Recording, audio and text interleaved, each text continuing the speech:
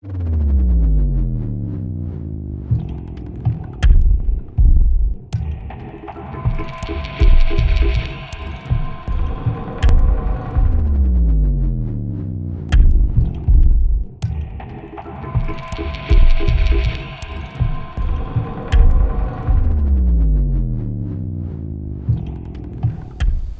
morning, dear students.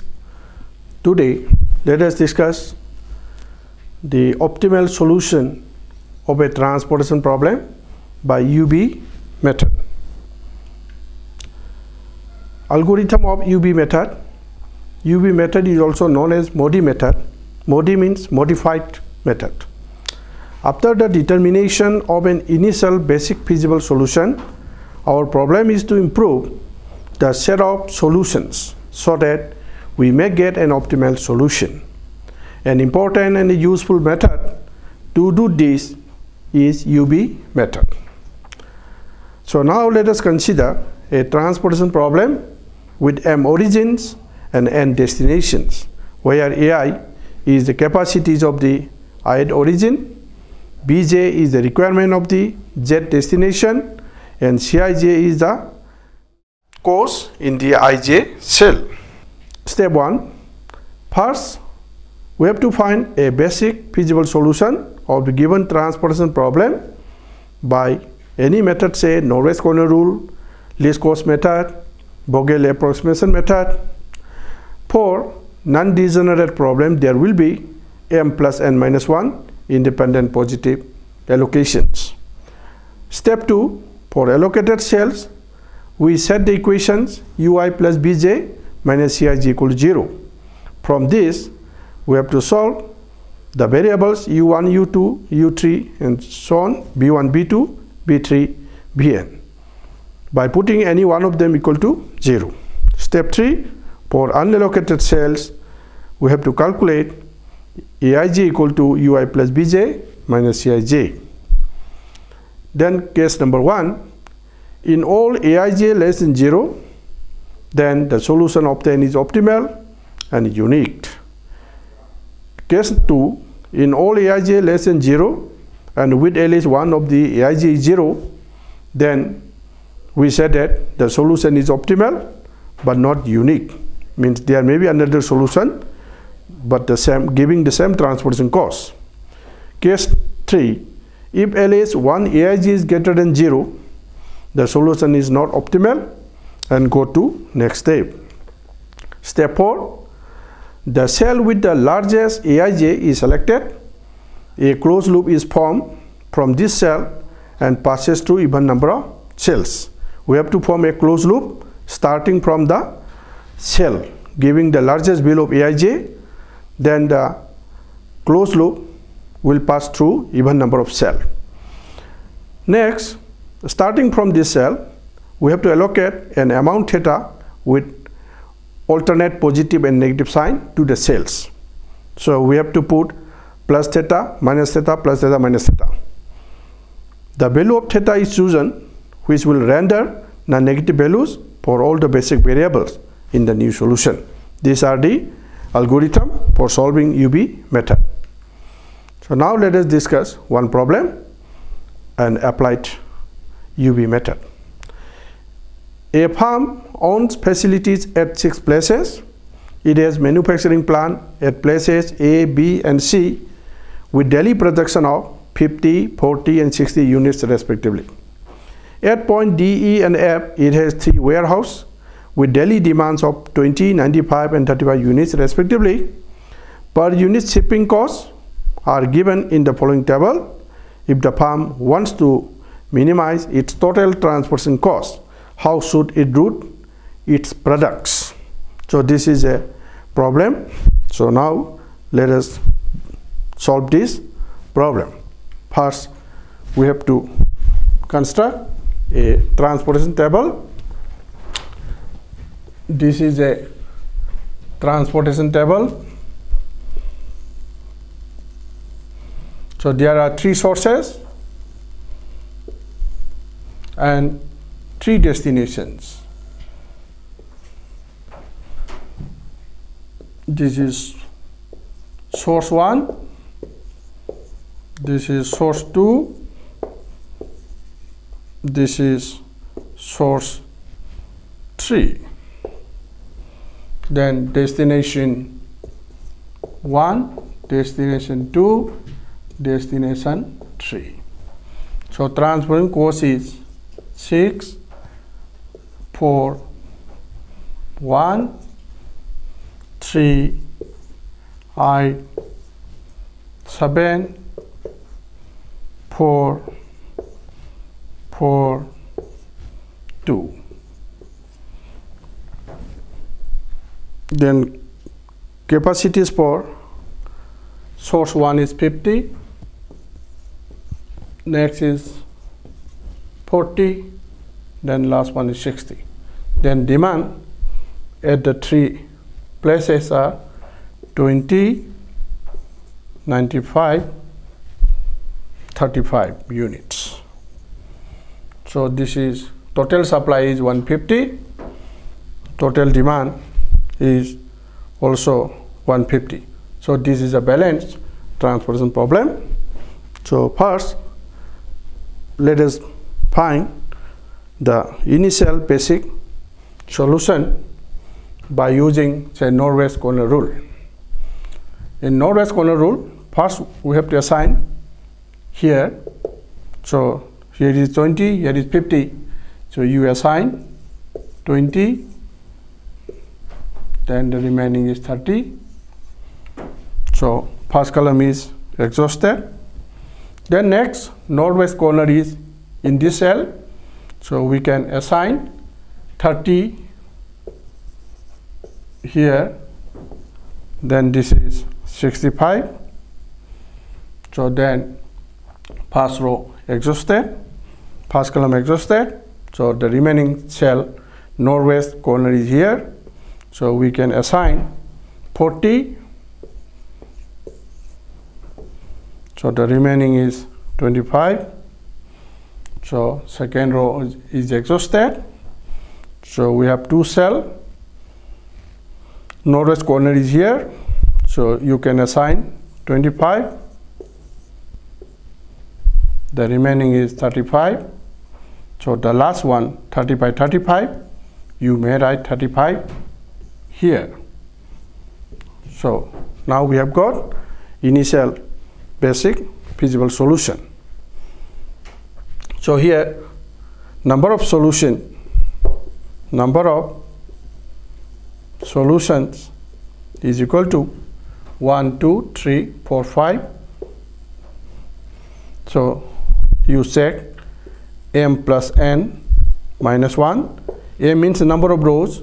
Number of rows is 3 n means number of column 3 minus 1 so 6 minus 1 is 5. So here m plus n minus 1 equal to m is the number of rows, n is the number of column. So this is 6 minus 1 5. So here number of solution is equal to m plus n minus 1. Therefore the solution is non-degenerate. Therefore the basic feasible solution Therefore, the basic feasible solution is non-degenerate. Therefore, the basic feasible solution is non-degenerate. So, this is the initial basic feasible solution. Next, we have to test the optimality condition, whether the solution is optimal or not. So, next, let us form another table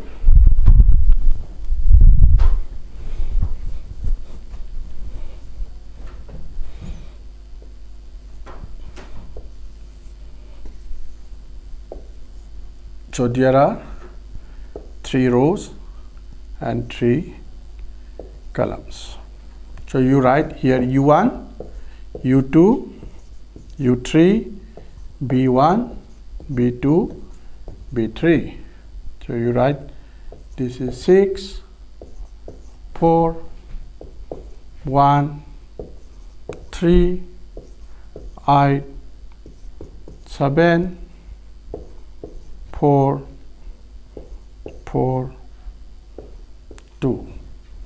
So initial allocation is 20, 30, 40, 25, 35. For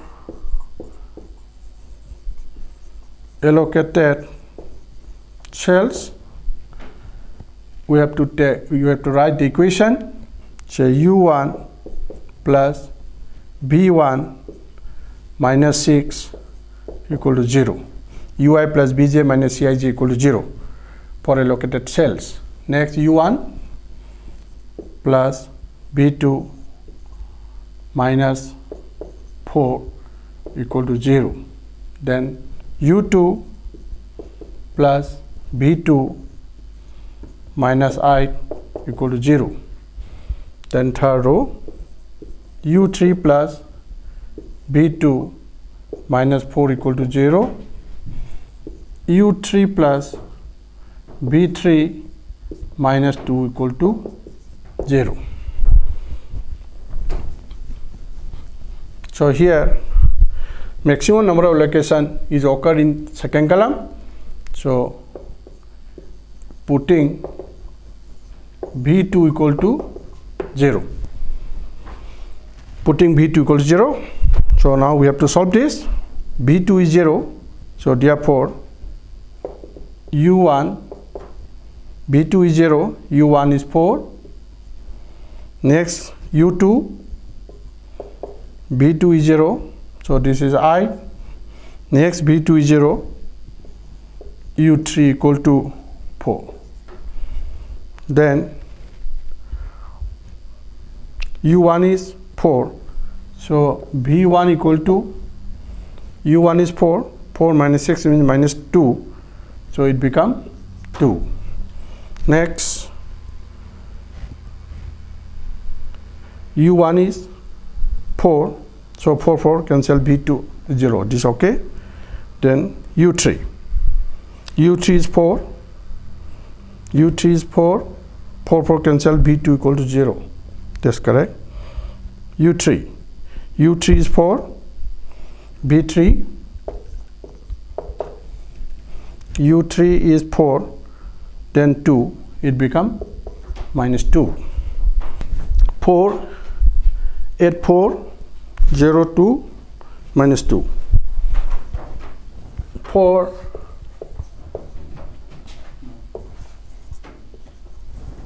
non-allocated cells?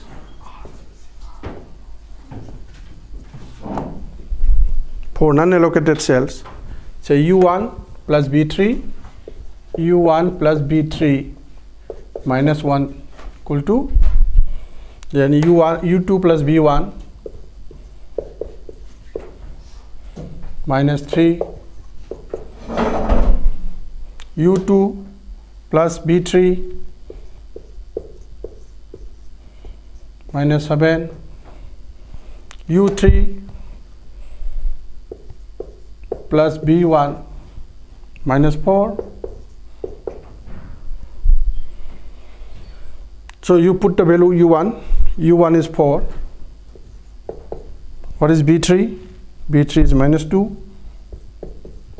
minus 1 so it become 1 next u2 u2 is 8 b1 is 2 minus 3 so 10 minus 3 means 7 next u2 8 b3 minus 2 minus 7 so it become minus 1 so last u3 is 4 b1 2 minus 4 it become 2 so now for non-allocated cells the evaluations are 1 7 minus 1 2 if these values all are negative then this is the optimal stage. But here some values are become positive so it is not an optimal stage. So we have to go further iteration. So the maximum value is here so this cell is u2b1 u2b1 means second row first column.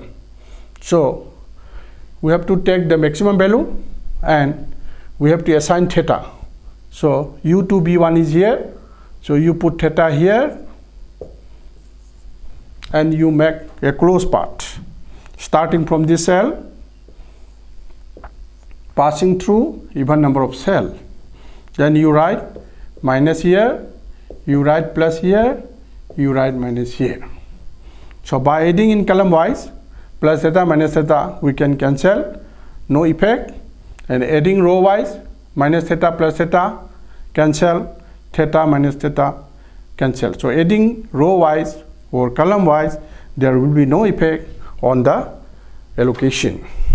So next then you have to we have to find the value of theta so you take minimum one 20 minus theta 40 minus theta. So take minimum of 20 minus theta comma 40 minus theta is equal to 0 so the minimum is 20 minus theta equal to 0 therefore theta equal to 20 so the value of theta is 20 so we can another table.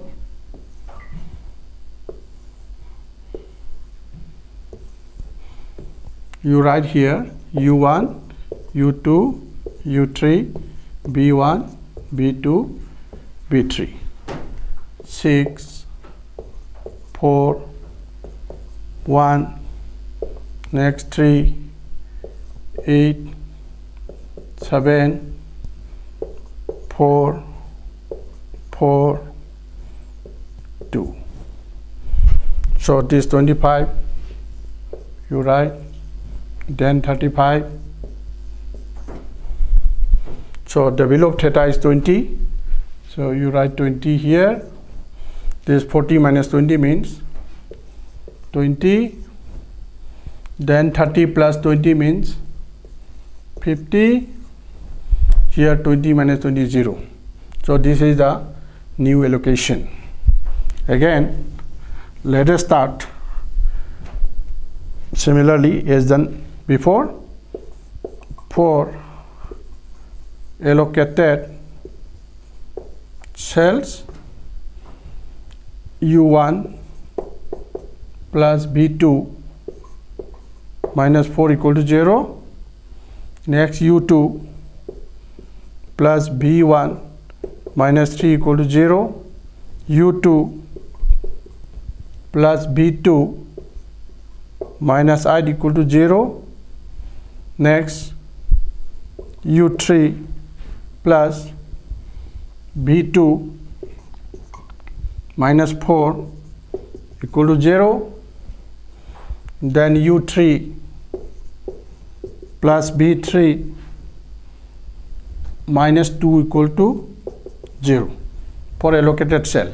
U1 plus b2 minus 4 u2 plus b1 minus 3 u2 plus b2 minus 8 u3 plus b2 minus 4 u3 plus b3 minus 2 yes this is correct. So maximum allocation is also again in second column. So you write putting b2 equal to 0 so putting b2 equal to 0 so from third equation we will get u2 equal to this is 0 8 next b2 0 u3 is 4 so next uh, b2 is 0 so u1 b2 is 0 u1 is 4 so next. U2 u2 is 8 8 minus 3 means 5 so v1 equal to minus 5 then this okay. Then u3 uh, this okay. Then u3 is 4 4 minus 2 means 2 so b3 equal to 4 minus 2 2 so it become minus 2 next let us calculate the values for non-allocated cells. For non-allocated cells.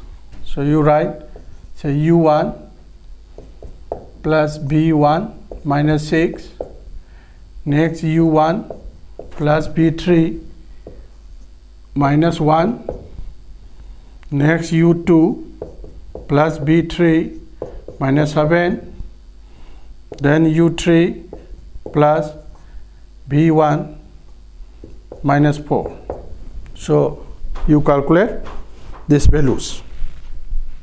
U1 here so u1 is 4 then b1 b1 is minus 5 then minus 6 so this is equal to minus 7 next u1 u1 is 4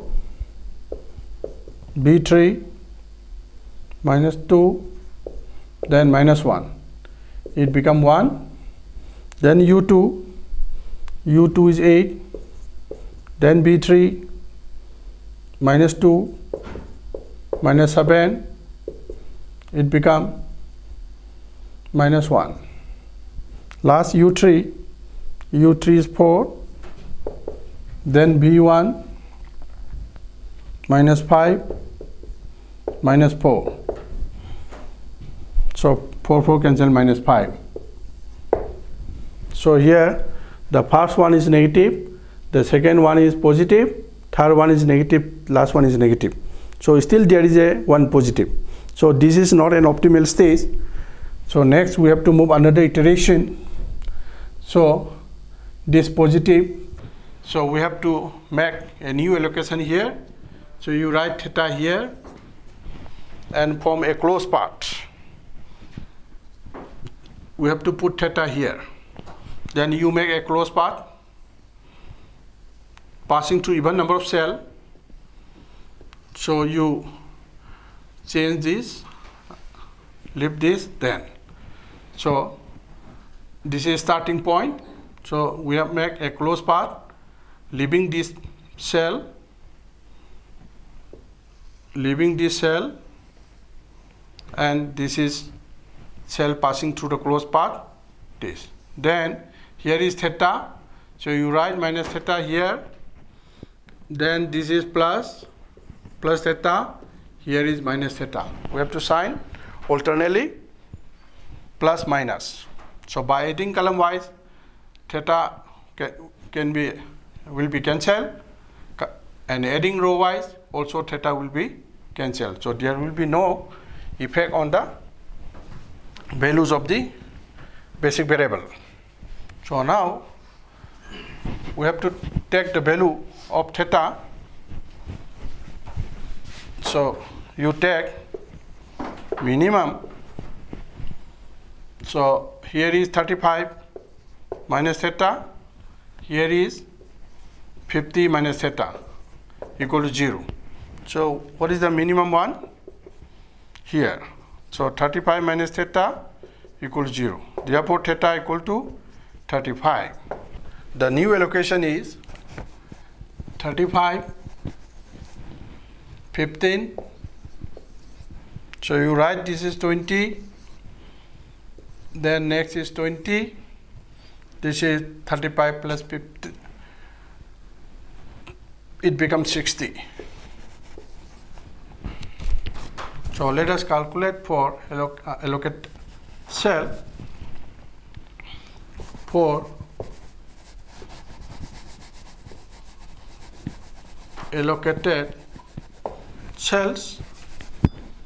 So u1 plus B2 minus 4 equal to 0 U1 plus B3 minus 1 equal to 0 U2 plus B1 minus 3 equal to 0 U2 plus B2 minus I equal to 0 then last one U3 plus B2 minus 4 equal to 0 So the maximum allocation is in V2.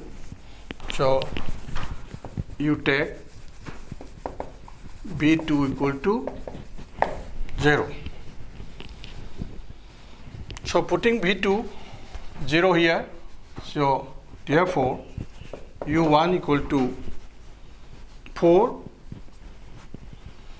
then V2 0 here, U2 equal to 8, V2 here, U3 equal to 4. So now U1, U2, U3 we have got. So next B1. So U2 here. U2 is 8, 8 minus 3, 5. So B1 is minus 5. Then next we need B3. B3 here. So U1 is 4, 4 minus 1 means 3. So B3 equal to minus 3.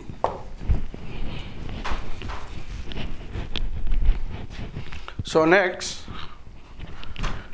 let us calculate for non-allocated cells. For non-allocated cells, say U1 plus B1 minus 6. Then next U2 you write U2 plus B3 minus 7. So next is U3 plus B1 minus 4. Then last one U3 plus B3 minus 2. So putting the value of U1, U1 is 4. What is the B1? B1 is minus 5, then minus 6. So it become minus 7. Next is U2. U2 is 8. B3. You take minus 3, then minus 7. It become minus 2. Then next U3. U3 is 4. B1. B1 is minus 5. Then minus 4. So it become minus 5. Last one, U3. U3 is 4. Then B3. B3 is minus 3. Then minus 2. So it become minus 1. So now all the values are negative. So this is an optimal stage. ಅದನ್ನ this is an optimal this is an optimal stage this is an optimal stage therefore the solutions therefore the solutions are say x 1 2 15 x 1 3 35 x 2 1 20 x 2 2 20 x 3 2 60 these are the solution. So finally you find out transportation cost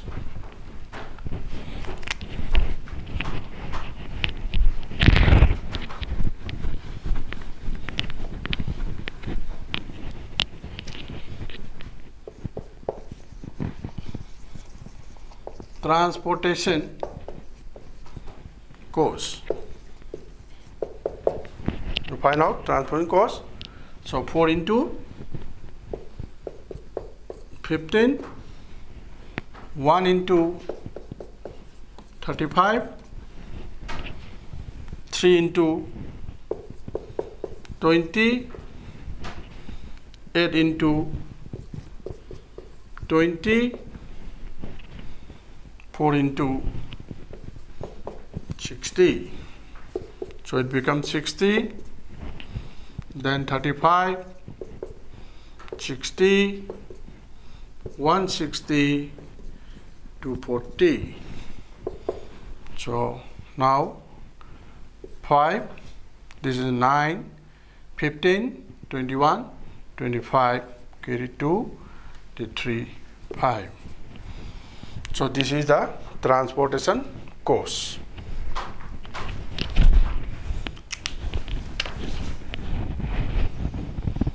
so there is a one assignment problem so the question is determine an initial basic feasible solution of the following transportation problem by Vogel approximation method.